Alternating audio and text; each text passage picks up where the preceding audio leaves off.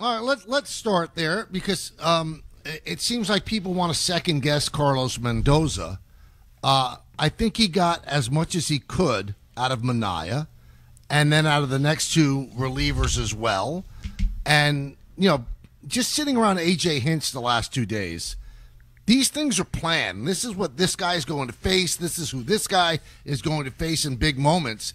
They did not want um, a guy with a fastball to face Chourio. They just didn't. That that's not that's not the plan. The plan was to have Phil Maton come in, and then you know a home run, and that ties it, and, and you know two batters later another home run, and that gives them a five three lead, and that brings us to today. But I, I don't think I don't know if you you agree with this, Don. I don't think you bring in Diaz there in the eighth inning because he can only pitch Oh. one inning. They've overused him because they had to.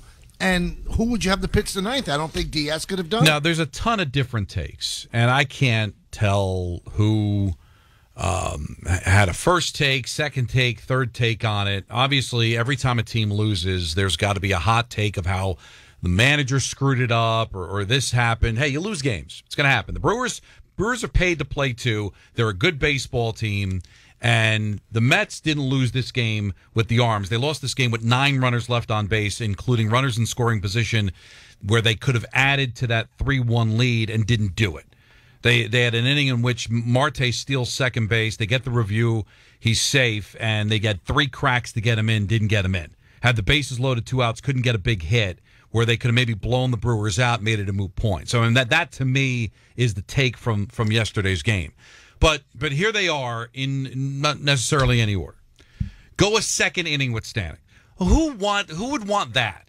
I mean, he's, he's he's okay. He's not great. He did only throw nine pitches. and he's a one inning guy. But he's a one inning guy, and, and believe me, you'd have your heart in your throat if he came out for the eighth inning. All right, he did his job. He got the outs in the seventh inning. Maton was brought here for this moment. When they made the deal, all anybody wanted to talk about was his 1.99 earn run average in the postseason. Hey, this guy's a great pickup, especially if you make the postseason. Well, then that's why you have him. He's your eighth inning guy. So Stanek coming in for a second inning, even if it, it we don't know if it would have worked. I don't know if that's the play. Maton's the play because that's he's your eighth inning guy. Now he didn't he was wasn't great down the stretch, wasn't great on Monday in the first game of the doubleheader, but it's the postseason. He's got experience. That's his job. The other thing is, and I thought about it too. Not that I would have done it, but I was curious. Will he come out with Diaz for a, a six out save? And I was glad he didn't in, in this sense. He had thrown 66 pre uh, 66 pitches combined on Sunday and Monday. Got the day off.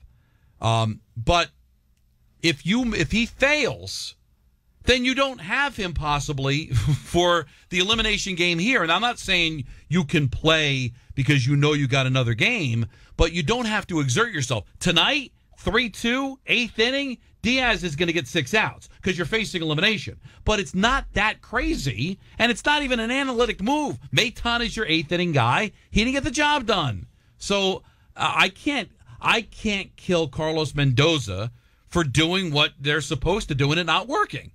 So is he supposed to think outside the box, Michael, because he's been such a great manager that that and if it had worked out that he's the king, or is there anything wrong with just doing the the the job that you're supposed to do? Bring in my eighth inning guy to protect the three two lead. I, I think that was the only thing to do. I mean, the only other option. I don't think you bring in Diaz in the eighth. I just don't think he's physically able to do it right now. Well, now you could bring him into you. You could bring him in to pitch the eighth, but then he can't pitch Well, the ninth. see- he's thrown forty pitches on Monday. See, that's another thing I saw on social media.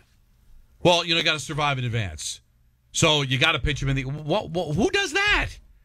right? Like, if he's not available for two innings, why would you then have him in the eighth inning? And then who's pitching the ninth? Well, how would that have been any any better? Then Maton pitches the ninth inning, he gets shelled, or Diaz then has to exert himself to pitch a second inning and then gets hit.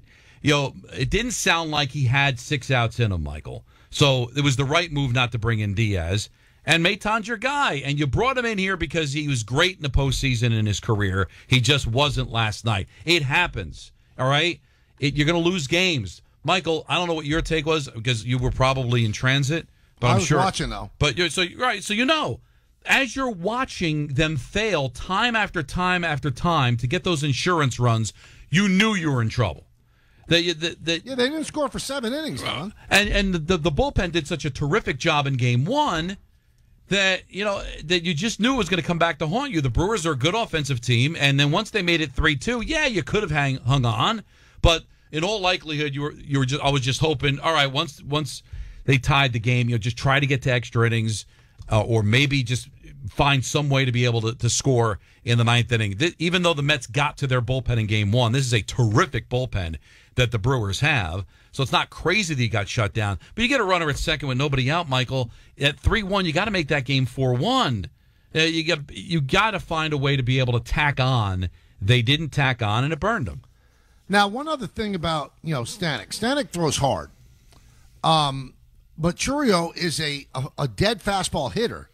So the move to Maton was the move to make. Now, if you want to, you know, second guess, I think a legitimate second guess on is after you know another runner gets on, maybe you go to the bullpen then. Maybe you ask Diaz to get the final out then, but then you're bringing Diaz into a tie game, which probably necessitates him pitching in the ninth inning as well, and then you're getting in a little hairy situation there. So they need him today. You don't play yesterday preparing for today, but you have to keep it in the back of your mind as well. I don't think that game was lost by Mendoza. It was lost by Maton. And every manager will tell you, you can make the absolute right move. Absolute right move. And it could backfire because the player did not execute. Maton is an excellent postseason pitcher, as Don just said, and he didn't execute. He said that he doesn't regret the pitch, he just re- regrets the location. It happened. So now you've got a winner take all, and the Mets are the first team in baseball history to play five games in four days, including the postseason. Let's see how they do. It's- you hope that the doubleheader doesn't catch up with them. no matter what, losing yesterday hurts, obviously, and and the way and the fashion which it happened in was not what you want. But guys, it's not like what I would be much more concerned if we saw like a really top to bottom poor performance from them yesterday. I, I still feel good about the Mets going into the game tonight. They, they, they, didn't give you the feeling, Don, that like you know the Orioles were giving you into Game Two. This isn't a team that's lost everything because they lost a game. And let's not forget, this is a team that just bounced back. Well, not just bounced back in a game, Don, but bounced back after a bad series before the doubleheader. Well, they've bounced back all year long. I mean, that's been their mantra really since the beginning of June the ability to get off the mat. And you can go back when things were not sealed up at all. That four game series against Philly, they got smacked around on that Friday, lost 12 to 2, and they get off the mat and win on Saturday and Sunday in spectacular fashion. The Brewers, the Brewers series, they lose those first two games, they come back and they win on Sunday. Uh, so you're playing with fire. You're facing elimination. There's no tomorrow. All the cliches you want to throw out here. But if you don't trust this team, then you're never going to trust them because they've shown you this year. Forget about the history and typical Mets and all that. In the moment, this team has shown the ability to get off the mat. I'm not thrilled about facing elimination. We did the show yesterday, Michael, and there was just a feel. I was guilty of it too. Where you start, your mind begins to wander about Philadelphia and what kind of run they can make because it was just so impressive the way they bounced back after the slow start in game one but the Brewers were heard from, and, and now, now you got to answer. And Quintana's been good for this team down the stretch, and and just and, and hopefully the you know Alonso gets going. I mean, his bat's been uh, See, certainly that- slow. That's what I wanted to talk about, Don. I'm not a guy who jumps on guys. He, he hasn't had a great year. Hmm. He hasn't had big games. Uh, and it, it- this is a time for him to step up because the, if he does great in a game like this, yesterday tripped over the bat, no fault of his own, but that's another run for the Mets if he doesn't trip over the bat because he beats out the double play and then a run scores. So that was a big play in the game. But he's got to do more than dunk singles. He he's become Yeah. essentially Mark Grace. He's a home run hitter, and it, the last home run he hit Don was uh, I think September 19th, and it was against a big name, Clemens, but it was not Roger. It was his son pitching as a position player. So he's got to if he wants to really put pressure on the Mets to bring him back.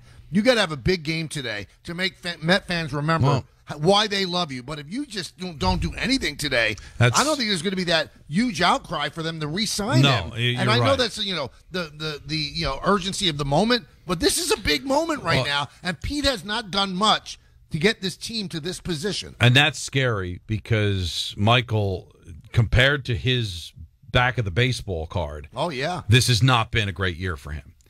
And if it's not been a great year for him because of the fact it's the walk year of his contract and he succumbed to the pressure, well, then you know what?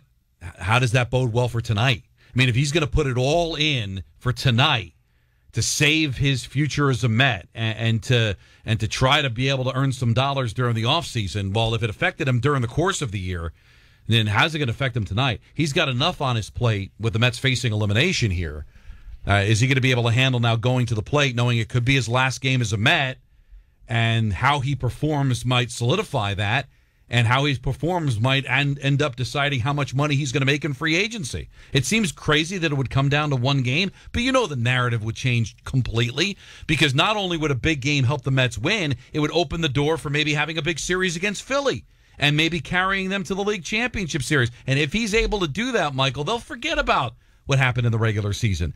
The, uh, obviously, his agent is going to be, sh- and Scott Boras knows what he's doing. Will focus on these moments as a reason why he should get paid. He just has to produce in this moment, so it just adds another piece of lumber of pressure on the guy's shoulders tonight. He has not homered in 49 consecutive plate appearances. He's five for 38 without an extra base hit since September 19th. So this is kind of put up or shut up time. And I don't look at his, his year such a terrible year. It's not his typical year, but he had 88 runs batted and he hit 240. It's not terrible. He hit, you know, I think he was 33, 34 home runs. So, I mean, that's not the that's not vintage prime Pete Alonso, but he didn't just completely uh, wet the bed. He did okay. He just didn't have a great year.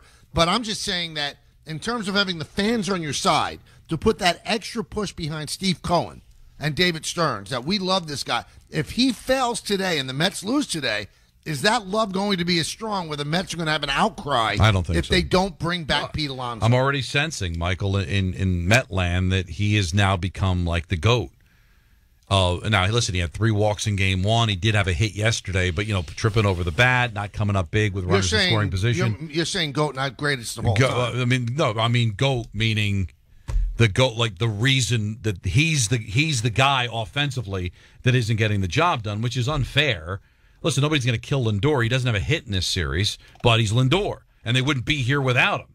You know, there's a lot of other guys People, that haven't done well. Martinez has been completely lost, and he was 0 for 3 uh, last night. You know, so there's a lot of guys. Taylor left some runners on base despite having hit. Uh, um, Alvarez has one hit so far in this series, but it's Pete, and that's who's going to be the one that's going to get the slings and the arrows if they lose tonight, and he goes 0 for 4 with three strikeouts. I feel like Lindor needs to do something today, though. I feel like there'll be at least some little bit of chatter. I mean, obviously the season's been amazing, but Don, you don't think there'd be any conversation if he does nothing in the three game series? I, I, listen, they're not here without without him. Uh, he's he had a couple of walks last night. He's got a sacrifice fly. He has been stellar in the field. He made some outstanding plays. Not all of them resulted in outs, but he did a great job with the glove last night. No, I, I think Lindor, because of his season and also the fact that his back can't be hundred percent, will get a pass. No, this will be on Pete. No, I don't think there's any question. Do you, Michael, that this will be on Pete? Oh, it's going to how the game plays out. I mean, if Pete comes up and they're down by one in the ninth inning, he has a bases loaded, strikes out, it's going to be on Pete. It could be a collective effort, too. But if Pete goes 0 for 4 and they lose, I mean, there will be some eyeballs on him. Now, he was asked uh, after yesterday's game, where are you at offensively? Here's Pete Alonso. Feel good. Yeah. I mean, I feel like I'm, I'm taking pretty decent at bats. Um, yeah, feel I feel really consistent. Just need to need to keep swinging, and and uh, good things will happen. Keep swinging at good pitches, and good things will happen. It's October third.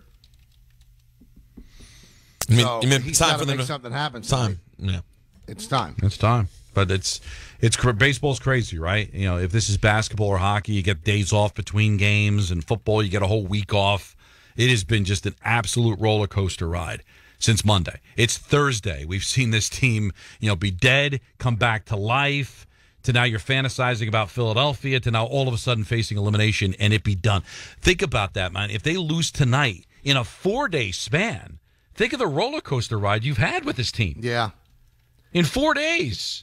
Now I'm gonna I'm gonna revisit a tired old refrain right now. Sure. But you know, I believe it's Boog and uh, Doug Glanville doing the game on ESPN. That is correct, sir. Right? And they're both excellent. Boog is one of the best in the game, and I've worked with Doug. He's terrific. But don't you think that it's only right that Met fans and Brewer fans get to hear their home team announcers on a secondary audio?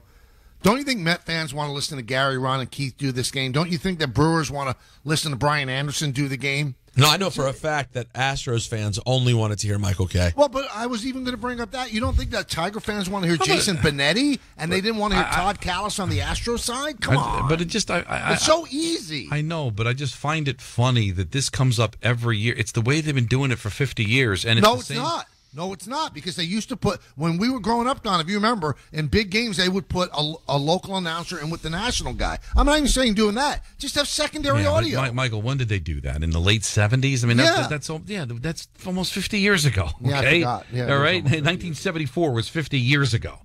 This is the way it is. It- it's the way it is after the first round in hockey and basketball too. I At mean, the, it- this the- is the easiest play would be because this is so doable. They do this with things like maybe the MLB app. I, correct me if I'm wrong, but if not, they do it with other sports apps.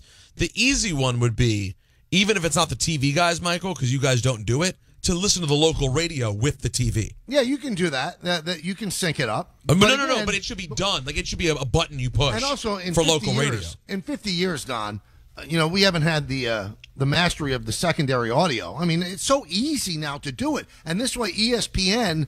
Uh, and you know, next next round, TBS and Fox, they still get the ratings because you're still watching their show. But the bottom line is, the people get to hear who they want to hear.